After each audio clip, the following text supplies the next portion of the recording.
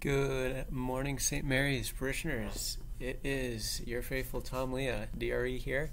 Uh, so, we're doing the drawing for the King of Hearts raffle. But first, I am going to use this anticipation to give a short lesson because I think that's the most important part. Who cares if we win a million dollars from the King of Hearts? If we win eternal salvation, um, nothing here really matters. The only thing that matters is our love for God, right? So keep that in mind. So today's lesson is on the, it is called the Scapular of Our Lady of Mount Carmel. I'm sure many of you have seen this. It is uh, something that people question, and there's been some, yeah, debate about it. But Our Lady uh, gave this devotion. I just read this. Um, to Simon Stock, Saint Simon Stock, I think in the medieval ages, but that's a pretty broad amount of time. 1251, 1251, and uh, and so basically she said, anyone who dies clothed in the scapular shall not suffer eternal fire.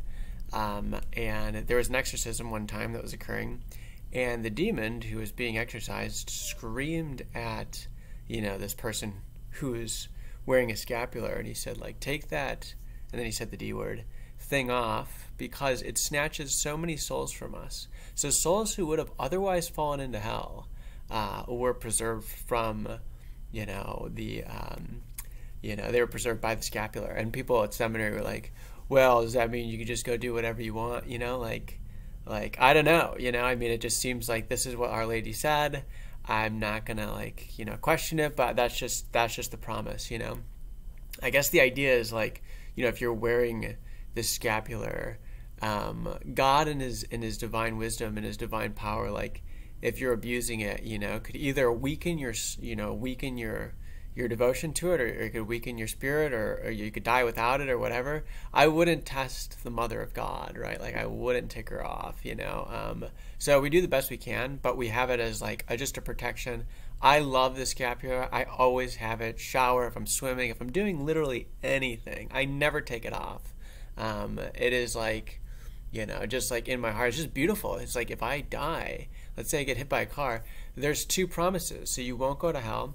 And then Our Lady appeared to Pope, somebody or another, and she said the qualifications for the scapular are um, you have to be in the state of chastity in your state in life. So if you're married, you have to live within the bounds of chastity in that particular state. If you're single, um, which is everyone in my NCYC group and me, and um, anyone under the age of 18 that I know of uh, in this parish.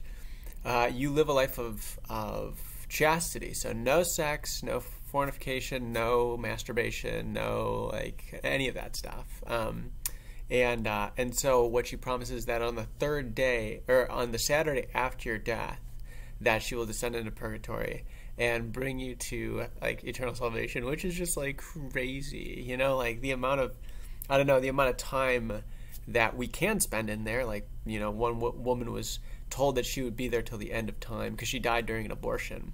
Um, and Saint John Vianney. Uh, oh no, it was the children of Fatima. Uh, they had revealed this to us. Anyways, I'm going too long. Um, but yes, I'm just ordered like 24 of them. So you have to come. The priest has to give you a special blessing. He enrolls you in the confraternity of the, the scapular. Then the promises apply to you as long as you're wearing it. Okay. Let us do the great raffle. So the person who won last time did do this again. So if he wins, it's not my fault. I am just God's instrument. So, oops. I almost looked there. Okie doke. So once again, you can tell I'm not looking, I'm not looking. Neil Haddon. So, I actually, this is the one person that didn't give me a number. I will reach out to you if I cannot contact you before Sunday. If I can't contact you by Saturday evening, I'm going to draw again. Um, I, I, I think for the, the form or whatever, it had a number uh, right underneath that. I didn't get a number from you, so I'm going to do my best to reach out to you. If I can't find you, we're going to redraw. Uh, if you don't hear from me, then just assume you didn't win. Um, okie doke. Say a quick prayer for Tom Leah. And uh, yeah, hopefully you all have a happy 4th of July. God bless you. Thank you so much. Bye.